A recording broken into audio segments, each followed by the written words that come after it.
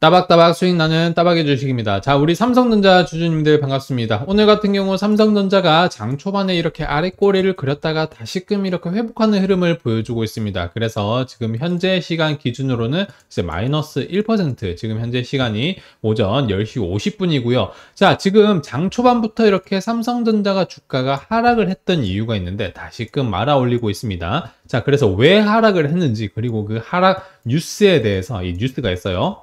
오늘 새로 나온 뉴스에 대해서 우리가 어떻게 해석을 하면 되는지 어떤 분석을 하면 되는지 이번 영상에서 확실하게 말씀을 드리고 동시에 삼성전자 전망은 어떻게 보시면 되는지 디테일한 내용들 말씀을 드리도록 하겠습니다. 그러니까 여러분들 영상 시청하시기 전에 구독 버튼 그리고 이 좋아요 버튼 깜빡하지 마시고 한 번씩만 눌러주시면 정말로 감사드리겠습니다. 자, 그래서 오늘 나온 뉴스를 한번 살펴보시면요. 오늘 같은 경우 여러분들 어떤 뉴스가 나왔습니까? 로이터에서 이제 삼성전자 HBM3 엔비디아 테스트 통과는 했다. 그런데 HBM3E는 아직까지 못했다라는 얘기가 나오고 있습니다.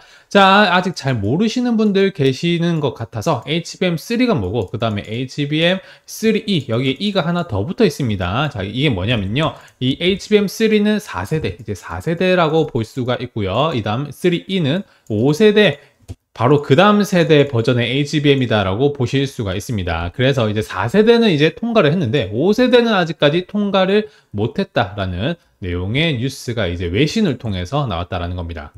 자, 그래서 내용 자체가 여러분들 뭐 엔비디아 품질 검증을 통과는 4, 4세대는 했는데 5세대는 아직까지 통과를 못했다. 자, 그래서 엔비디아의 그래픽 처리 장치인 H20에만 적용이 될 거고요. 이제 5세대인 H100 쪽으로는 이제 사용이 안 될 거다. 삼성전자가 아직까지 공급을 못 할 거다라는 뉴스가 나오게 되면서 주가가 하락하는 그런 모습을 보여줬습니다. 자, 그래서 이제 발열과 전력 소비 문제 지금 어려움을 겪고 있는 삼성전자의 현재 상황이다라고 보실 수가 있는데 이제 아무래도 이제 뉴스는 인용을 하기 때문에요. 이제 제가 직접 로이터 통신 뉴스를 찾아봤습니다. 자, 그래서 실제 뉴스 내용들을 보면 여러분들 이제 우리나라 국내 언론에서 빼먹은 내용들이 좀 있습니다. 그래서 몇 가지만 한번 살펴보시면요. 이 5세대 칩에 대해서는 이제 확실히 이제 테스트, qual 테스트를 통과하지 못하고 충족하지 못한 것은 사실이다만 계속해서 지금 테스트를 진행을 하고 있는 상황이다. 그래서 이제 continuing이라고 하죠. 이제 chip is continuing.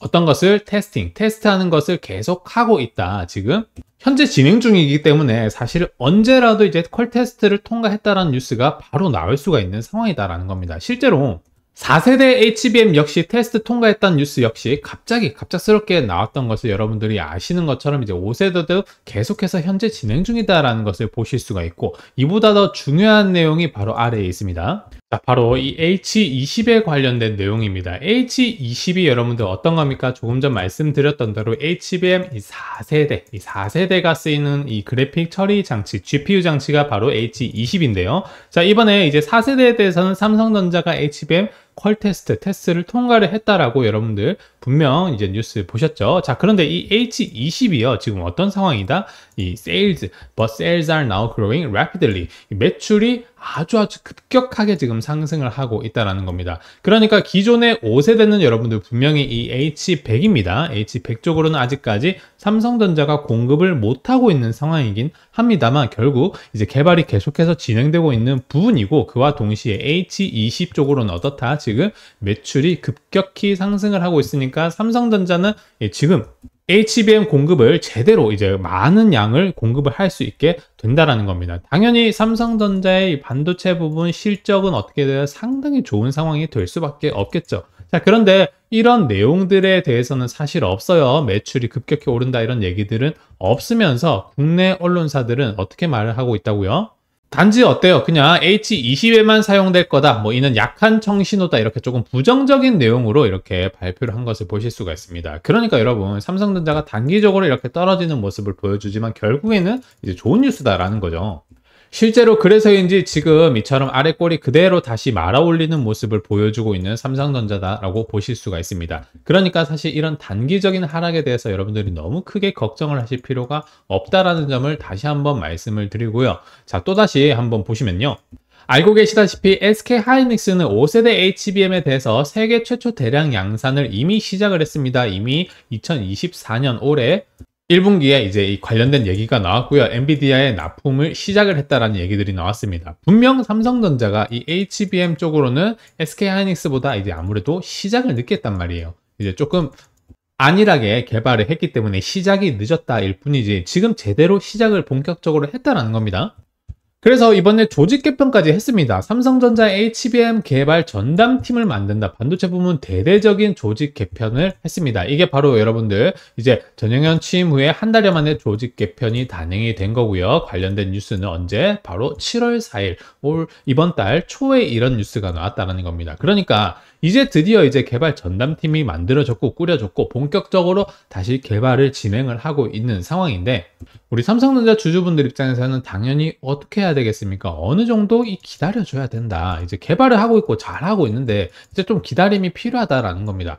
뭐 한 달, 두 달, 혹은 지금 하락하는 거 여러분 뭐 2주, 3주 하락하고 있는 그런 상황인데 당연히 우리 삼성전자 주주분들은 지금 현재 삼성전자의 장기 상승 추세에 대해서 의심을 안 하고 계실 겁니다. 자, 그럼에도 불구하고 어때요? 이 최근에 트럼프 리스크로 인해서 주가가 하락하는 동시에 주가가 하락을 하게 되면 여러분들 결국 악재성 뉴스가 계속해서 나오게 됩니다. 조금 전 오늘 나온 뉴스처럼 이 좋은 내용이 분명히 있음에도 불구하고 시장의 관심을 끌기 위해서 이 기사들이 악재성 뉴스처럼 나오게 되면 결국 주가는 하락 하방으로 가게 되면서 당연히 우리 주주분들에게 공포감을 인식시켜주는 그런 역할을 하게 된다는 겁니다. 우리는 이런 부분들에 절대 휘둘리면 안 되고 어떻게 하셔야 된다? 오히려 그때그때 잘 대응을 하셔야 된다는 겁니다. 자, 그러면 결국 중요한 건 뭡니까? 지금 이 지점에서 주가가 많이 떨어졌어요. 떨어졌는데 이 지점에서 또 추가로 매수를 해야 될까?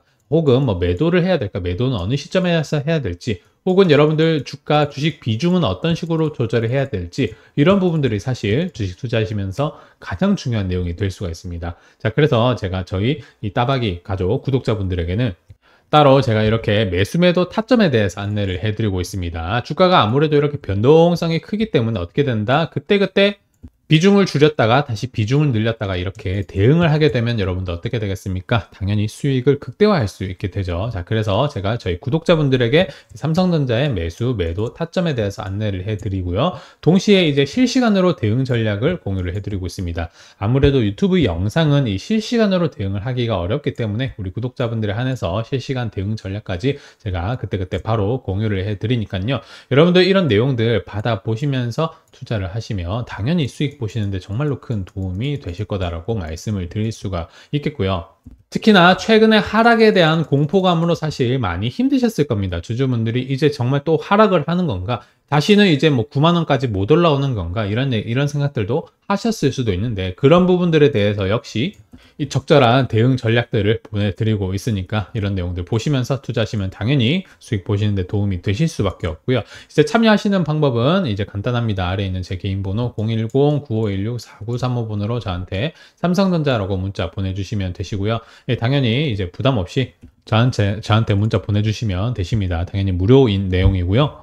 그래서 실제로 지금 최근에 이렇게 변동성이 큰 지점에서요, 바로 이런 지점, 이런 지점에서 우리 구독자분들과 함께 대응을 한 그런 전력이 있으니까 당연히 앞으로도 어떻다, 뭐 한 달, 두 달이 아니라 1년, 2년 앞으로 계속해서 여러분들에게 대응 전략을 보내드릴 수 있다는 점 이제 알고 계시면서 참여를 해주시면 되십니다.